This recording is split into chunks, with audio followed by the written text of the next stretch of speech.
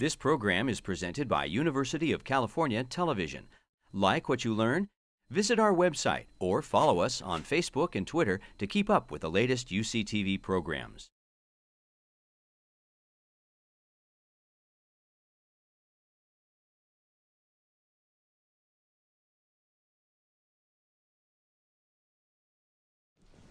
In nature, how does the caterpillar transform to a butterfly? We can make a guess based on the initial state and the end state.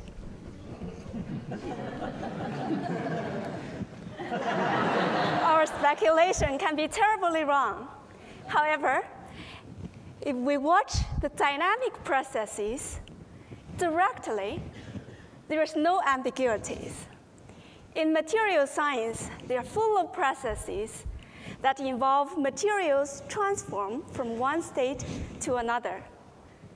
To understand prob those problems, including the material's properties, it is important we study the material's transformations directly by direct observation.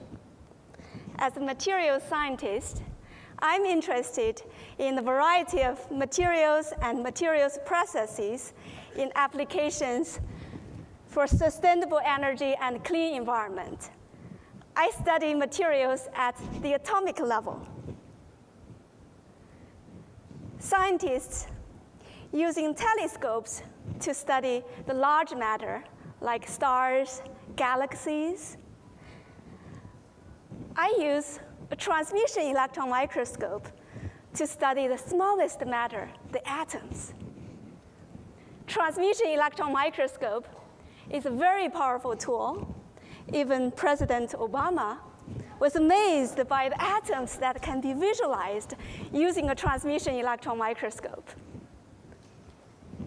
A transmission electron microscope can use the high energy electron beam and focus the beam using a series of magnetic lenses in high vacuum for imaging. As a comparison to a light microscope, the electron microscope has much better resolution to see small things, atoms, because the electron beam has very small wavelengths. In conventional imaging, using a transmission electron microscope, because of the high vacuum environment, we image materials by drying them out or freezing them.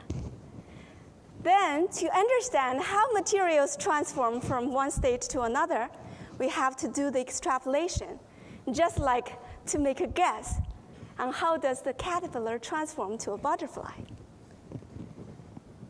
Recently, I developed a liquid cell, as shown in this schematic. It can isolate the liquid from the high vacuum environment, so I can study samples, can study materials using the transmission electron microscope. Over the years, my students have made several versions of liquid cells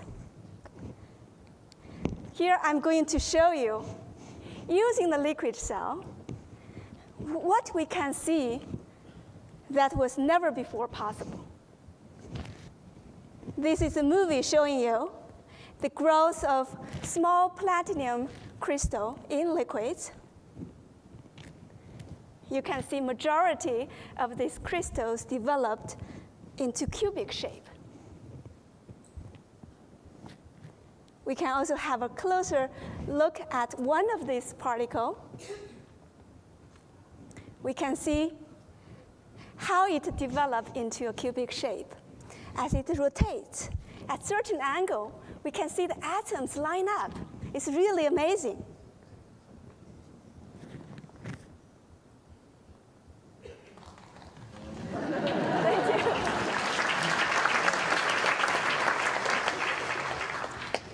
By direct observation, we found the 100 years old theory for crystal growth is not correct. We developed, we found a new rule for the growth of these small particles. Using the liquid cell, we can also address questions in real-world issues, such as batteries. We can make a small battery cell by putting electrodes inside a liquid cell. Then we can monitor the electrode-electrolyte interfaces during charge and discharge using a transmission electron microscope. Then we can see how does the battery work. Mostly, how does it fail? As we're all familiar with the problem, as your cell phone ages, the battery does not take a charge as well. Here is an example. We can image the formation of dendrites during charge and discharge. This damaged the battery.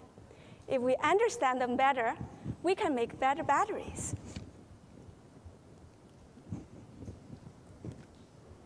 Using the liquid cell, we can also image biological materials in natural water environment.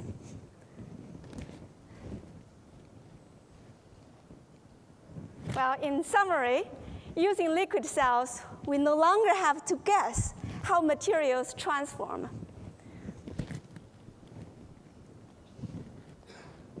We can directly observe materials transformations using a transmission electron microscope.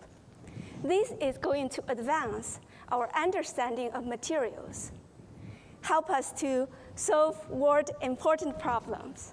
Thank you.